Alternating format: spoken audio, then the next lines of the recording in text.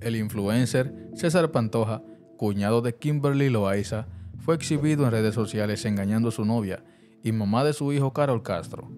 Ante la ola de hate que recibió por parte de los cibernautas, César Pantoja ahora explica lo sucedido en los videos filtrados. El influencer lanzó un video en su cuenta de YouTube justificándose. Esto enfureció a los internautas y lo compararon con su hermano Juan de Dios Pantoja, que lanza un video ante cada polémica que protagoniza, como con Kimberly Loaiza.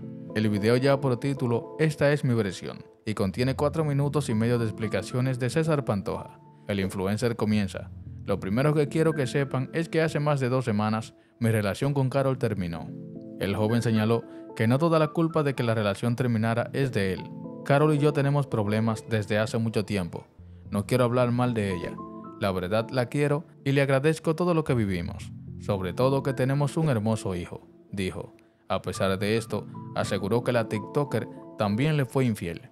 Ella sabe que nuestra relación no solo yo fui infiel, los dos fuimos infieles y ella sabe muy bien de qué hablo, agregó el youtuber. Asimismo, aseguró que luego de terminar su relación se siente bien. Me siento libre, ya no me siento controlado. Al fin me armé de valor para salir de tanta manipulación y chantaje emocional, señaló César Pantoja, pese a haber dicho que no iba a hablar mal de su expareja.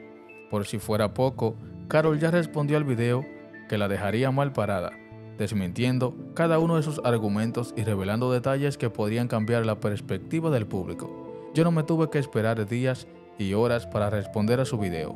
Claro que sé que tiene que ver a su hijo y lo va a ver. La influencer aseguró que César miente al decir que estaban separados pues estaban en un punto de reconciliación. Él no puede decir que terminamos oficialmente. Él y yo nos veíamos, nos besábamos, dormíamos juntos y yo recuerdo que un día antes de que se fuera a Tijuana le dije que arregláramos nuestra relación. Sí es una infidelidad y una traición. Sinceramente me da mucha flojera hacer un video de YouTube. Él se fue a Tijuana mintiéndome. Eso de que los dos fuimos infieles es una estupidez, porque ahí ni siquiera andábamos.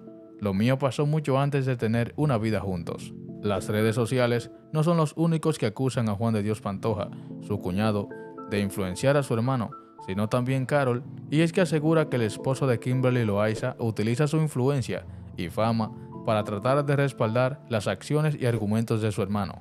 César se esperó hasta llegar a Ciudad de México para que le dijeran lo que tenía que hacer, afirmó. Por otra parte, dejó en claro que no le da miedo lo que pueda hacer Juan de Dios Pantoja y que si le llega a molestar con algo, tendrá prohibido ver a su hijo y que el único que podrá ver al bebé será César.